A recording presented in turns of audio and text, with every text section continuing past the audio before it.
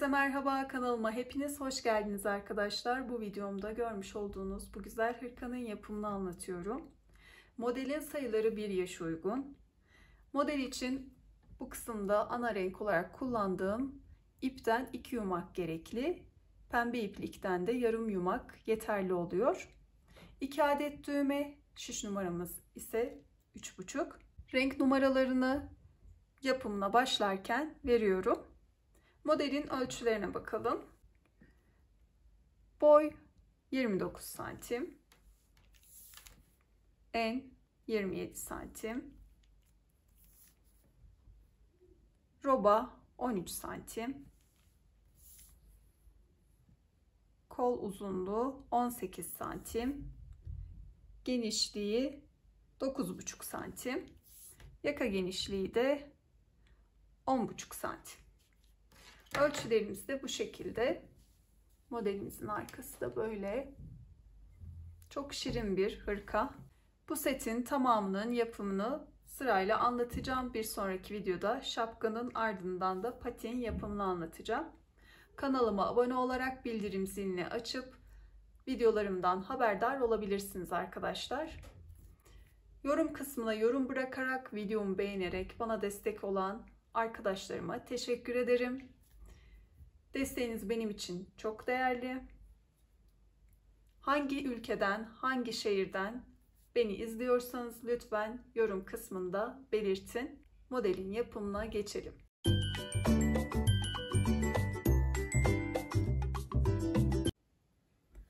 Modelde anti peeling özellikli ve beğeni kullanıyorum. Renk numarası 1422. Şöyle bir bakalım. 100 gram 250 metre bir ip. Şiş numaram ise 3,5. Modele 68 ilmek atarak başlıyoruz. Klasik ilmek atma tekniği ile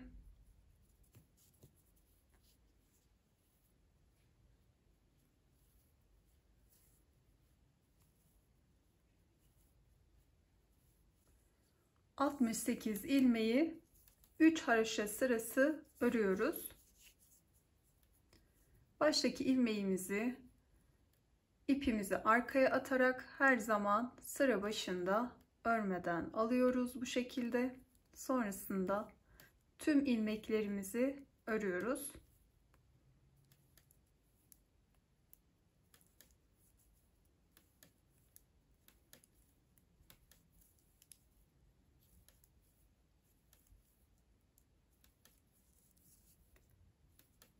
Sırayı tamamlayalım. Ve sırayı tamamlamış olduğum arka yüzde bir sıra haroşa ördük. Ön yüze geçtiğimizde ilk haroşa çizgimiz oluştu.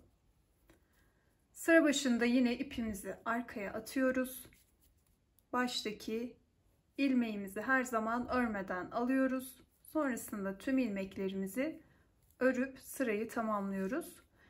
Modelimizin bitimine kadar bu şekilde sıra başlarını yapıyoruz.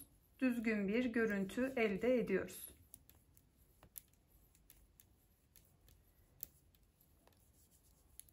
Üç haraşa çizgisi oluşuncaya dek örelim.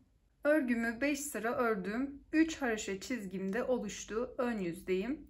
Öreceğimiz bu sırada ayrımlara başlıyoruz. Modelimizin Kol ucu ve etek ucu haricinde tamamı haraşo örgüden oluşuyor.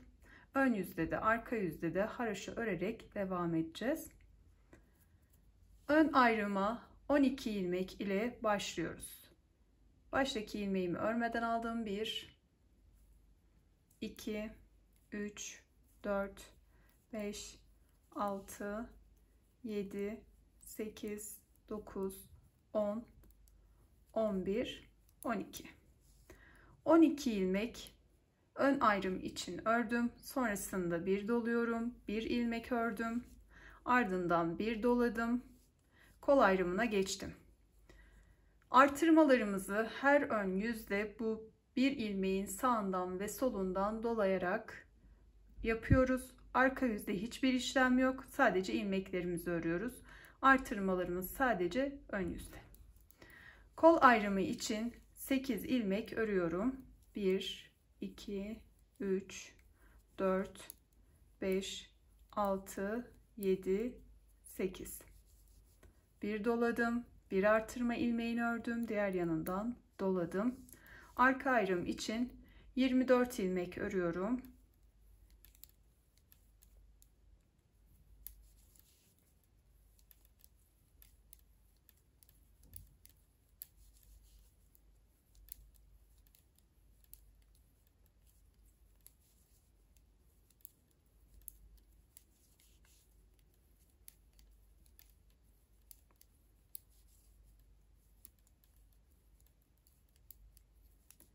24 ilmek ördüm bir doluyorum. Bir artırma ilmeğini ördüm tekrar doladım. Kol ayrımı için 8 ilmek örüyorum.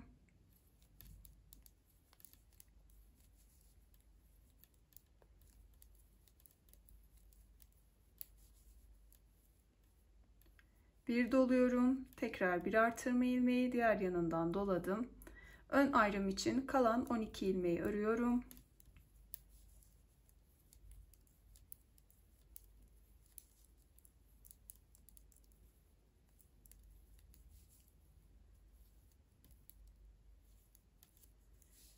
arka yüze geçiyorum. Tüm ilmeklerimi haroşa örüyorum.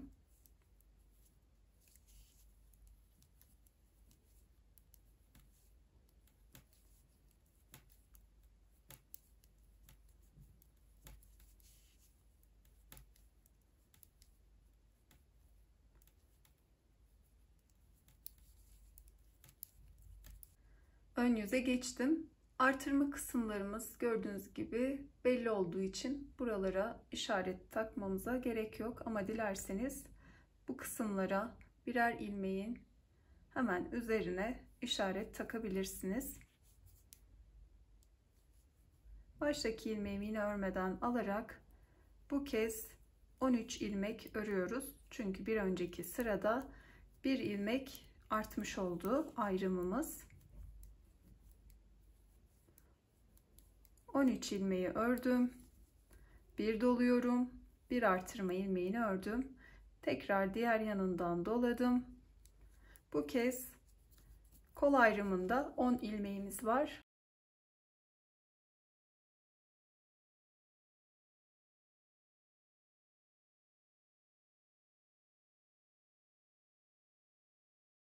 ördüm. Tekrar doladım. Artırma ilmeğini ördüm. Bir doladım arka ayrımdaki 26 ilmeği örüyorum. Artırma kısmına geldim. Doladım. Bir ilmeğimi ördüm. Tekrar doladım. 10 ilmek örüyorum kol ayrımı için.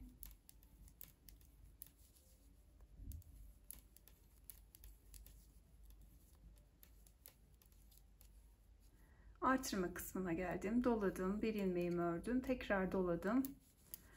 Ön ayrımı örüyorum. 13 ilmek ve sırayı tamamlıyorum bu şekilde.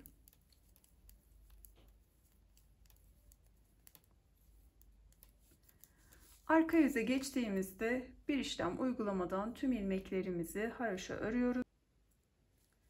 Arka yüzü örüp ön yüze geçtim. Üçüncü arttırma sırasını uyguladım. Ön yüzde sıranın sonundayım. Şimdi burada bir ilik çalışmamız olacak. Buradaki iki kenar tırtığı üzerinden ilik çalışmamızı yapacağız. Bir tığ yardımı ile tığım 3 numara. Örgümü arka yüzüne çeviriyorum. Sonrasında en son ördüğüm ilmeği alıyorum. Tığıma ardından 5 zincir çekiyorum. 1 2 3 4 5 5 zincir çektim tığımdan çıkardım. Bir ikinci tırta tığımı geçiriyorum. Ve bu ilmeği alıp bu kısımdan çıkarıyorum. Ardından buradaki zincirin üzerine 6 sık iğne ile dolduruyorum.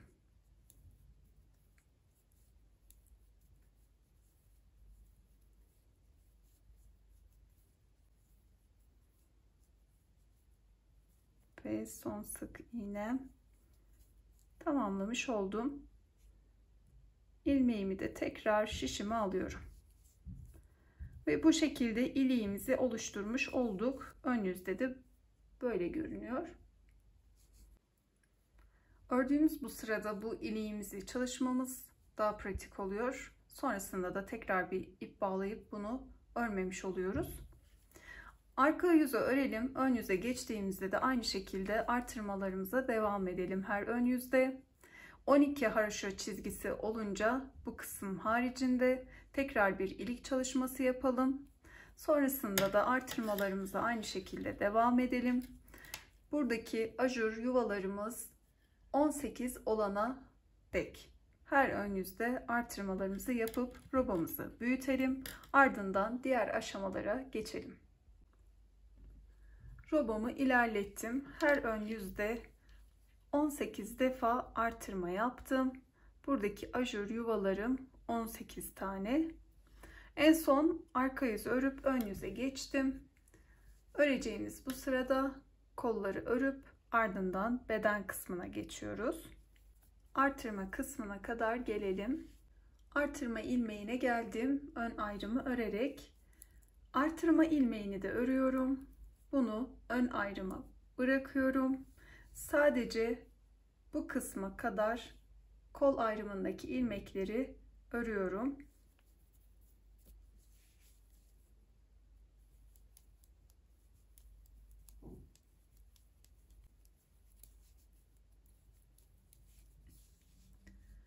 Kol ayrımındaki 44 ilmeği ördüm. Artırma kısmındaki ilmeğe geldim. Bunu da arka ayrıma bırakıyorum ve bu kısımdan örgümü çeviriyorum.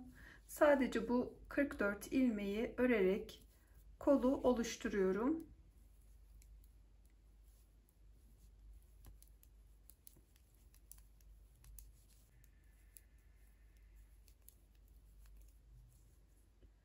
Evet arka yüzde de artırma ilmeğine geldim. Bu kısımdan örgümü çeviriyorum.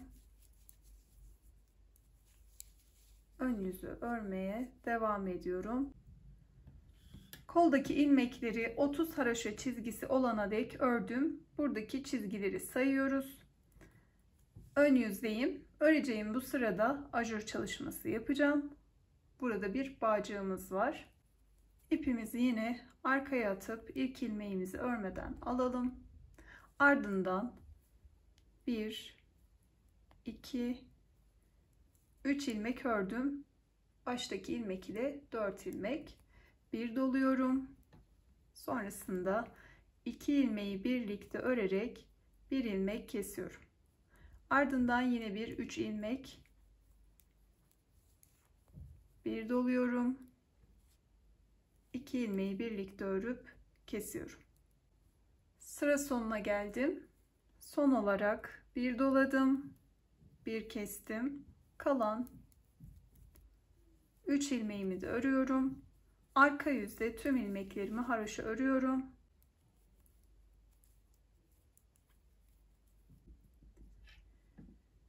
Ajur sırasını ördükten sonra 3 sıra daha ördüm.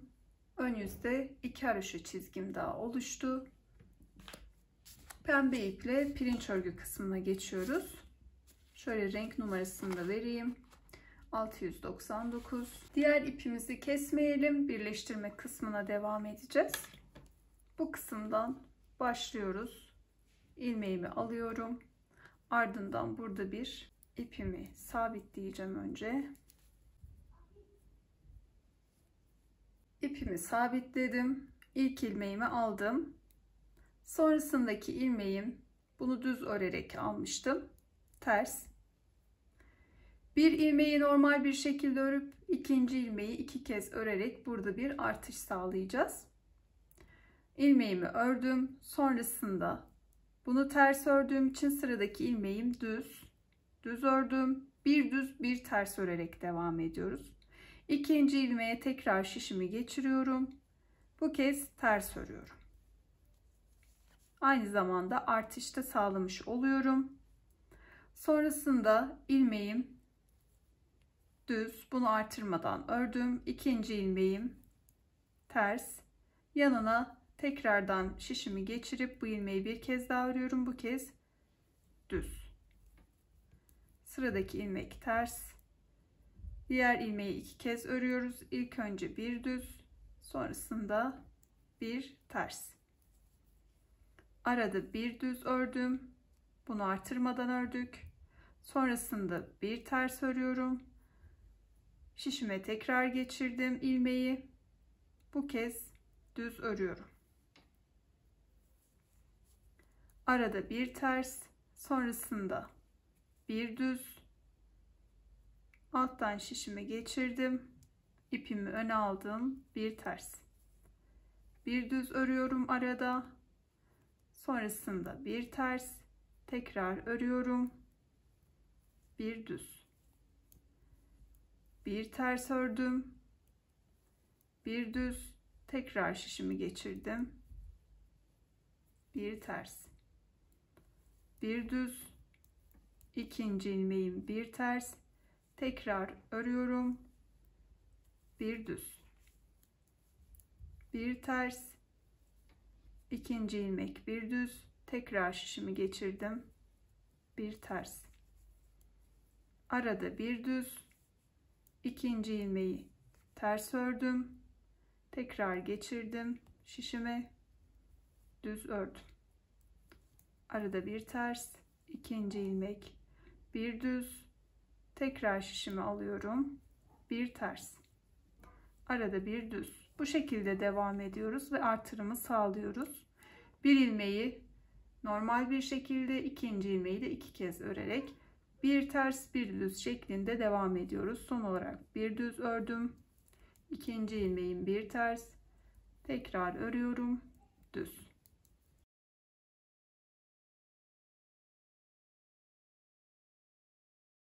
sonuna geldim. Son olarak ters ilmek ördüm. ikinci ilmeği artırmıştım. Son ilmeğimi de düz örüyorum. Arka yüze çevirdim. Pirinç örgü her sırada düz ilmeği ters, ters ilmeği düz örerek örülüyor. Baştaki ilmeğimi örmeden alıyorum. Sonrasında bakıyorum. Bu ilmeğim düz, bu ters, bu düz. Düz ilmeğimi ters örüyorum. Ters ilmeğimi düz, düzü ters ters ilmeği düz şeklinde devam ediyoruz. Her sırada bu şekilde örülüyor. Düzleri ters, tersleri düz örüyoruz. Sırayı tamamlayalım. Ön yüze geçtim. Bu üçüncü sıramız.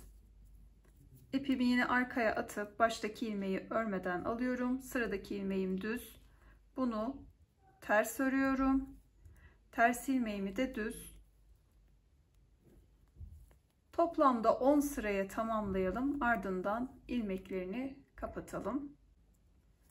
10 sıra ördüm. ilmeklerimi kapatmaya başlıyorum. Baştaki ilmeği örmeden aldım. Sonraki ilmeğim düz. Düz örerek kapatıyorum. Bir öncekinin üzerinden atlattım. Bir örüyorum. Bir önceki ilmeği de üzerinden atlatarak ilmeklerimi kapatıyorum.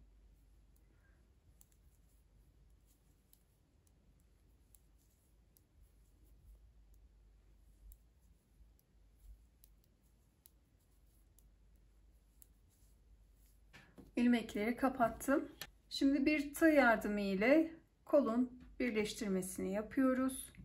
Dikişsiz ipimizi kesmeden bu kısmı tamamlayacağız. Sadece pembe kısımlarda ipimizi kesiyoruz. Ön yüzden ikiye katladım. Tığım 3 numara. Şöyle en uç kısımdan tığımı geçirdim ilmeği aldım. Bu kısımdan geçiriyorum. Bir zincir çekerek sabitledim. Ardından bu kenar tırtıklarından karşılıklı tığımı geçiriyorum. Bir ilmek alıyorum ve tığdaki ilmekten geçiriyorum.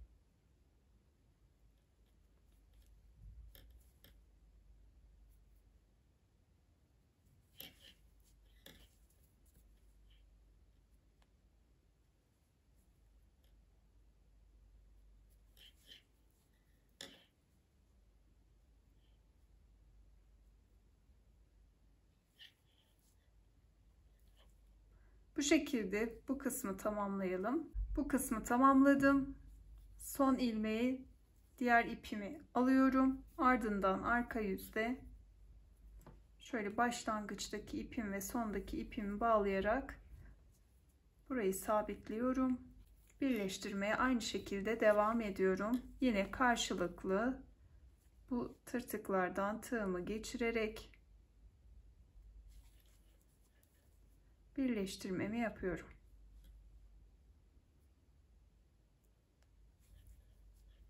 Bu kısmı da tamamlayalım. Birleştirme kısmını bu şekilde tamamladım. Birleştirme yaptığım ilmeği de şişime alıyorum. Şöyle kolu çevireyim.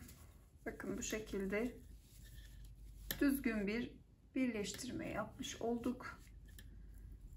Arka ayrımı örerek diğer kola gelelim. Direkt artırma kısmına kadar geldim. Artırma ilmeğini arka ayrıma bırakıyorum. Koldaki ilmekleri örüyorum. Buradaki artırma ilmeğini de ön ayrıma bırakıyorum. Diğer kolda yaptığımız gibi 30 haroşa çizgisi ördükten sonra ön yüzde ajur sırasını yapıyoruz. Ardından 2 haroşa çizgisine tamamlanınca da pirinç örgü kısmına geçip 10 sıra ördükten sonra ilmeklerini kapatıyoruz. Arka yüzde de birleştirmesini yapıyoruz. Bu kolu da aynı şekilde örüp birleştirme kısmını yaptım.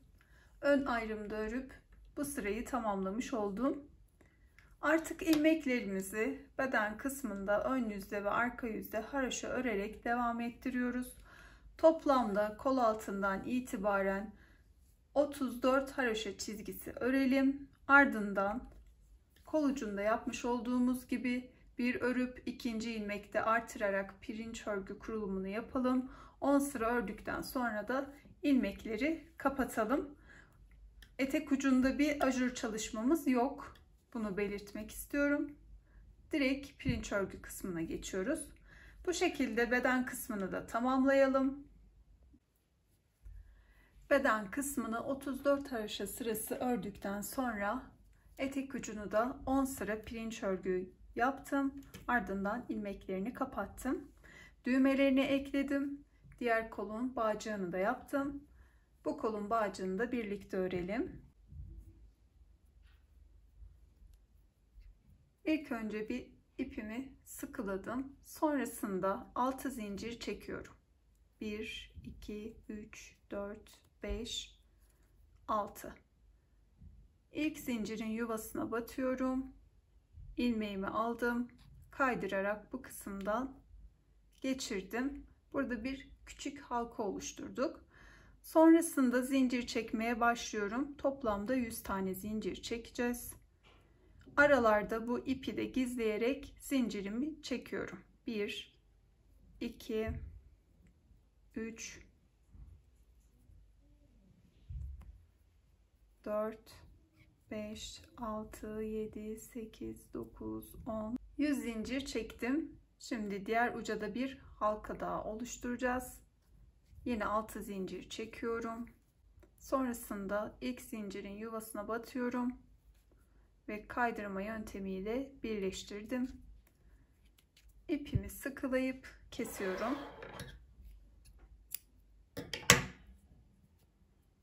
Ardından bu kısımda zincirin içerisinden geçirerek ipimi gizliyorum. Bağcık tamamlandı. Birleştirme kısmından ikiye katlıyorum. Şöyle bir uç buradan çıkacak, diğer uç da bu kısımdan. Bu şekilde geçiriyorum.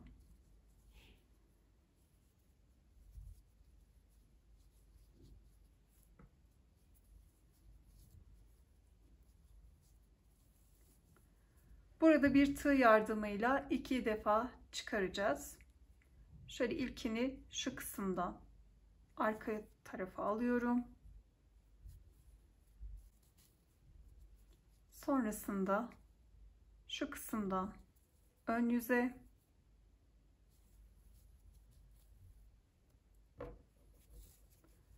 ardından yine aynı şekilde buradaki ajur yuvalarından geçiriyorum. Ve son olarak bu kısımdan ardından eşitliyorum ve bağcığımı bağlıyorum. Tamamlanmış oldu gördüğünüz gibi. Hırkamız hazır. Benimle birlikte örüp bu modeli deneyen herkese teşekkür ederim. Beğeni ve yorumlarınızla beni desteklemeyi unutmayın lütfen. Bir sonraki videoda görüşene dek sevgiyle kalın.